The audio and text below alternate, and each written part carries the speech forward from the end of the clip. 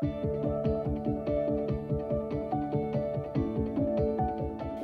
Jane Neilson with the Real Scoop on Wellesley Real Estate for the month of August.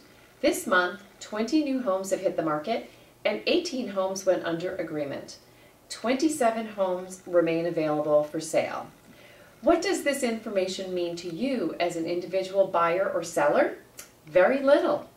Every town, every price range, every house is its own micro market. The activity will vary based on the following factors.